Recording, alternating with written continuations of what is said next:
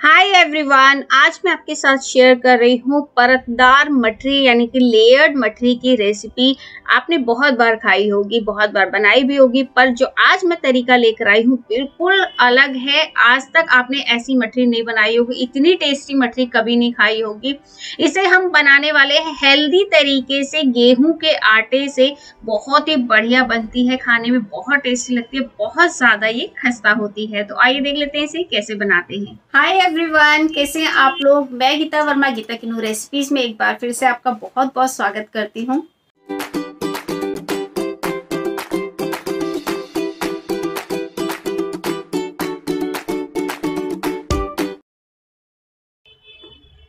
तो यहाँ पे सबसे पहले मैंने ओट्स ले लिया है। ओट्स आपकी हेल्थ के लिए बहुत अच्छा होता है। अपनी डाइट में आपको शामिल करना चाहिए, क्योंकि इसके अंदर होता है भरपूर मात्रा में फाइबर और ये आपके कोलेस्ट्रॉल लेवल को भी कम करता है। साथ ही इसमें होता है बहुत सारा प्रोटीन। तो ये हेल्थ के लिए बहुत अच्छा होता है। मैंने एक कप यहाँ पे ओट्स ले लिया है, जिसको मैं पीसने वाली हूँ और इसका मैं पाउडर तैयार कर लूँगी। तो यहाँ पे जो हम मटरी बना रहे हैं, आज बहुत ज़्यादा हेल्दी वे में बना रहे हैं। अक्सर हम मटरी खाते हैं, मैदे वाली टेस्टी तो बहुत होती है और हेल्थ के लिए बिल्कुल भी अच्छी नहीं होती। तो क्यों ना वही टेस्टी मटरी हम बनाएँ हेल्दी अंदाज में तो आज वही रेसिपी आज मैं आपके साथ शेयर कर रही हूँ। तो यहाँ पे मैंने ओट्स को पीस लिया है, इसका बारीक पाउडर तैयार कर लिया है। दिखाती हूँ आपको किस तरीके से मैंने पीसा है। तो यहाँ पे आपको बिल्कुल बारीक पाउडर आपको तैयार करना है, जैसे आटा होता है, वैसा ही मैंने यहाँ पे ओट्स का आटा तैयार कर लिया है। तो ये मैंने डाल लिया है इस बड़े बर्तन में। अब मैं इसमें ऐड करूँगी मैदा। टोटली ऑप्शनल है, मैदा नहीं यूज़ करना चाहते, बिल्कुल मत करिए, आटा यूज़ कर सकते हैं। यहाँ पे मैं यूज़ कर रही हूँ एक कप गेहूँ का आटा।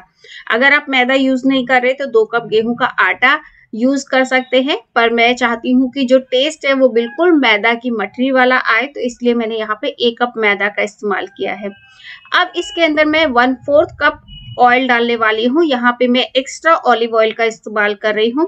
थोड़ा सा मैंने डाल दिया है, थोड़ा मैंने बचा लिया है, मैं बाद में डालूँगी। अब मैं इसमें ऐड कर रही हूँ हाफ़ टी स्पून अजवाइन अजवाइन आपके हेल्थ के लिए बहुत अच्छी होती है, साथ ही हाजमा बहुत अच्छा करती है।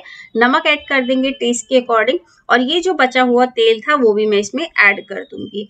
अब सारी चीज़ों को आपस में अच्छे से मिक्स कर लेंगे, ताकि जो भी ऑयल है, वो मैदा और आटे के साथ अच्छे से मिक्स हो जाए। इसे इस तरीके से दोनों हाथ से रब करते हुए मिक्स करेंगे। इससे क्या होगा, जितना भी ऑयल होगा, वो बराबर मिक्स होगा। अब मैं इसमें पानी ऐड करूँगी थोड़ा थोड़ा और यहाँ पे नॉर्मल पानी का मैं इस्तेमाल कर रही हूँ, कोई गर्म या ठंडा पानी नहीं है। नॉर्मल टेम्परेचर का पानी है। यहाँ पे हमें मीडियम सॉफ्ट डो लगाना है। बहुत ज़्यादा टाइट भी नहीं नहीं होना चाहिए आपका जो डो है और बहुत ज़्यादा सॉफ्ट भी नहीं होना चाहिए। मीडियम सॉफ्ट जो जैसे हम रोटी के लिए लगाते हैं ना आटा, उस तरह का आटा आपको लगाना है। तो यहाँ पे मैं थोड़े थोड़े पानी का इस्तेमाल कर रही हूँ ताकि आटा ज़्यादा गीला ना हो जाए।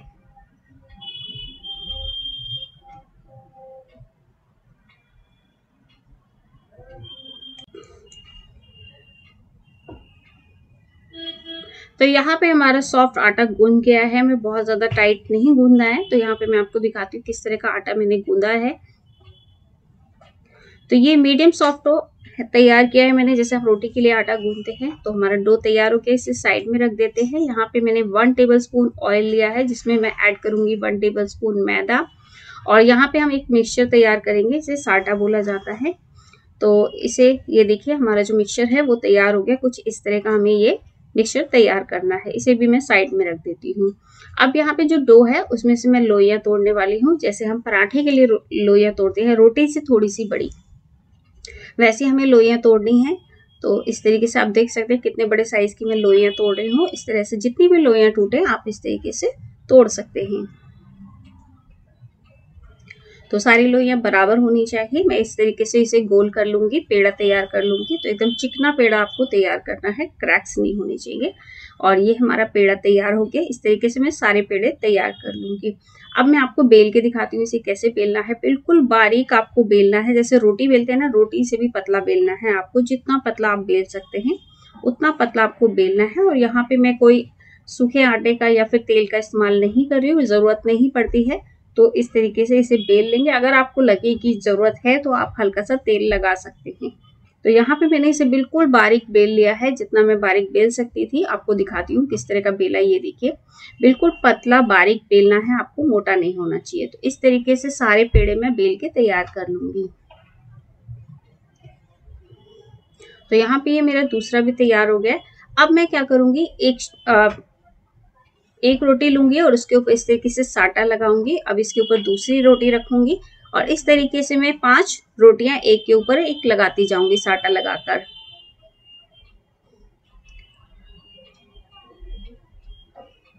तो अब मैंने यहाँ पे पाँच रोटियाँ लगा ली हैं और देखिए यहाँ पे मैं गिन गई हूँ कितनी हो गई, पाँच हो गई है तो ऊपर से भी मैंने साटा लगा लिया है। अब मैं इसे रोल करूँगी टाइट टाइट रोल आपको करना है। लूज नहीं करना है, एकदम टाइट टाइट चिपकाते हुए आपको इस तरीके से रोल करते जाना है। तो यहाँ पे जो लास्ट का पोर्शन है, वो मैं पानी लगा के इस तरीके से चिपका दूँगी।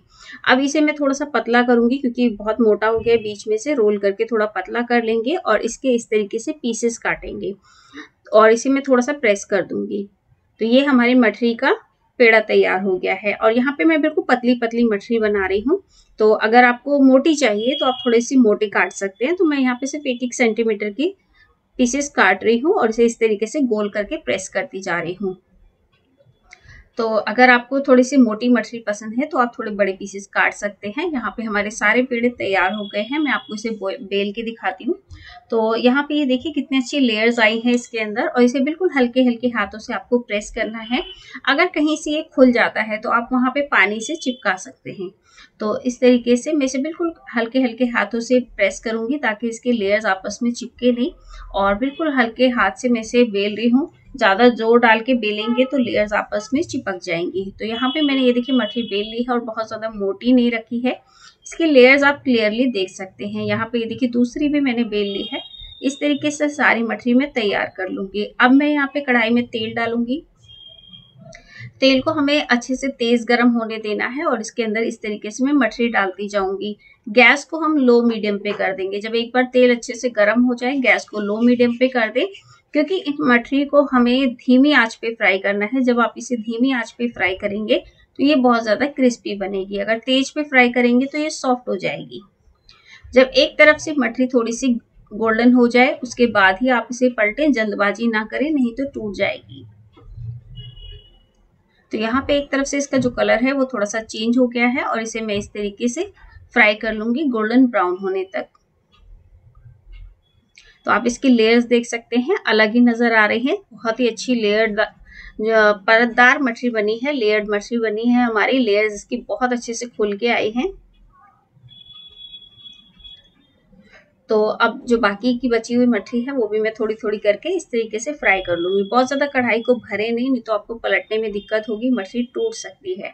बहुत ज़्यादा खस्ता बनती है। तो ये जो मठरी है, वो मैं खासतौर पे अपनी मदर इन लॉ के लिए बनाती हूँ, क्योंकि इतनी खस्ता है और उनके दांत नहीं है तो उन्हें खाने में बिल्कुल भी दिक्कत नहीं होती है। तो इतनी खस्ता मठरी और हेल्दी बहुत ज़्यादा है चाहे वो बच्चे हों, बड़े हों, चाहे बुज़ुर्ग हों, जैसे कि मेरी मदर इन लॉ है, उनको भी ये मठरी बहुत अच्छी लगती है और कोई प्रॉब्लम नहीं होती है। जैसे कि मैदा की मठरी खाने के बाद उनको प्रॉब्लम होती है तो वो चीज़ इसमें बिल्कुल भी नहीं होती है। बहुत ज़्यादा हेल्दी है। टेस्ट में मैदा की मठरी से कहीं ज़्यादा अच्छी है और बहुत ज़्यादा खस्ता है। तो वो लोग भी खा सकते हैं जिनके दांत नहीं हैं, उनको भी कोई प्रॉब्लम नहीं होगी। तो बहुत ही बढ़िया देखने में भी, अच्छी खाने में भी टेस्टी और बहुत ज़्यादा हेल्दी मठरी है ये। एक बार इस तरीके से ट्राई करिएगा, आपको बहुत ज़्यादा पसंद आएगी और इसे एक महीने तक आप स्टोर करके रख सकते हैं, बिल्कुल भी ख़राब नहीं होती है। तो वीडियो अच्छा लगे तो लाइक करें कमेंट करें शेयर करें चैनल को सब्सक्राइब नहीं किया तो चैनल को सब्सक्राइब ज़रूर करें इंस्टाग्राम पे फॉलो करें फेसबुक को लाइक करना बिल्कुल मत भूलिएगा।